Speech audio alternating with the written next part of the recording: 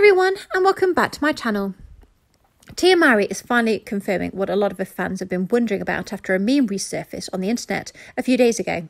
On Saturday, January 23rd, she uploaded an old picture of herself and her twin sister, Tamera Mowry, standing back to back taking a picture. But a closer look at the left of the shot shows Tia's now husband, Cory Hardrict, standing in the background looking somewhere else.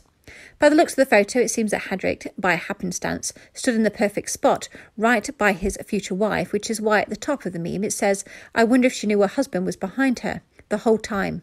With no background story of the picture, fans assumed that it might have been a coincidence that Hardrict was standing there. But Mowry confirmed that it was no coincidence at all.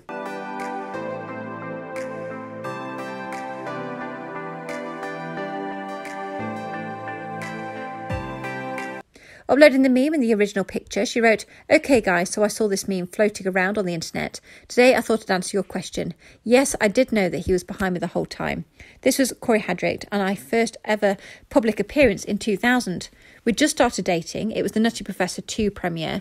We had met in 1999 after hashtag Sister Sister wrapped. 22 years has flown by. Commenting on the photo, one fan wrote, Oh, y'all been down, down to see it, while another said, Oh, how amazing.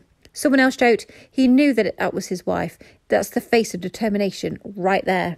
Another person explained why it should have been obvious that the two were dating. She said, LMAO, I don't know how people thought y'all didn't know each other when y'all were clearly matching.